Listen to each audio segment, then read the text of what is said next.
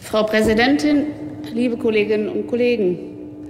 Am heutigen Internationalen Tag gegen die Todesstrafe müsste ein Aufschrei mit der Forderung durch die Welt gehen, verbietet endlich diese barbarische Strafe und ächtet Regierungen und Verantwortliche, die die Verhängung der Todesstrafe zulassen und die Tötung von Menschen anordnen. Wir dürfen nicht mehr schweigen, wenn wir Regierungsvertreterinnen treffen, in deren Ländern die Todesstrafe immer noch nicht abgeschafft ist. Leider hat die Zahl der Hinrichtungen im Jahre 2013 wieder deutlich zugenommen. Das ist eine Schande. Schon lange fordert die Linke ein Verbot der Todesstrafe, denn sie ist grausam und in keinster Weise zu rechtfertigen.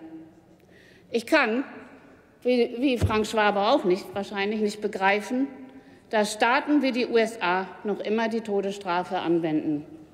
Ich erwarte von der Bundesregierung, dass sie sich auch gegenüber den Vereinigten Staaten deutlicher als bisher zu der brutalen Ermordung von Verurteilten äußert.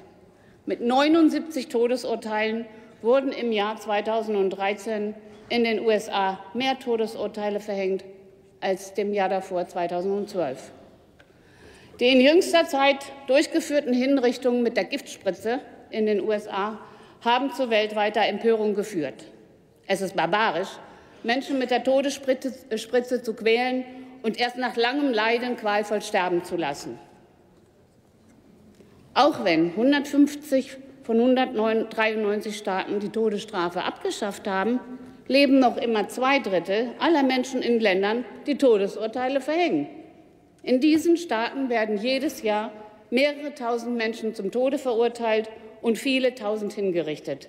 Das ist doch eine Schande für, für uns alle. Allein für China geht Amnesty International von mehreren tausend Hinrichtungen jährlich aus. In 22 weiteren Ländern, darunter Saudi-Arabien, Kuwait und Indonesien, wurden 2013 fast 800 Menschen hingerichtet. Von den USA fordern wir als ersten Schritt ein Moratorium für die Todesstrafe zu erlassen und dann in allen US-Bundesstaaten die Todesstrafe zu verbieten. Wir müssen den Verantwortlichen in den USA deutlich zu verstehen geben, dass eine Regierung, die diese Form der barbarischen Justiz im eigenen Land anwendet, international nicht glaubwürdig für die Durchsetzung von Menschenrechten eintreten kann. Liebe Kolleginnen und Kollegen, es ist einfach ein Skandal, dass wir Waffen und Ausrüstung für Militärs und Polizeieinheiten in Länder liefern, die noch immer die Todesstrafe verhängen und durchführen. Die jüngste Entscheidung der Bundesregierung, erneut Waffen nach Saudi-Arabien zu liefern, ist einfach empörend und darf nicht sein. In Saudi-Arabien werden Menschen brutalst hingerichtet. Das Abhacken von Händen oder das Amputieren von Gliedmaßen sind dort gängige Strafen. Saudi-Arabien wird auch seit längerem verdächtigt, am Aufbau der Mörderbanden des sogenannten Islamischen Staates mit Geld und Waffen beteiligt gewesen zu sein. Saudi-Arabien gehört neben dem Iran und dem Irak zu den drei Ländern, die fast 80 Prozent aller Hinrichtungen außerhalb Chinas durchführen. Ich fordere von der Bundesregierung einen sofortigen Waffen- und Ausrüstungsstopp für die saudischen Militärs- und Polizeieinheiten. Das ist doch das Mindeste, was man erwarten kann. Die Ermordung von Menschen durch Staaten und Regierungen ohne Gerichtsurteil nimmt zu. Mit den sogenannten gezielten Tötungen hat sich eine neue Form der Ermordung von Menschen ohne jegliche gerichtliche Prüfung durchgesetzt.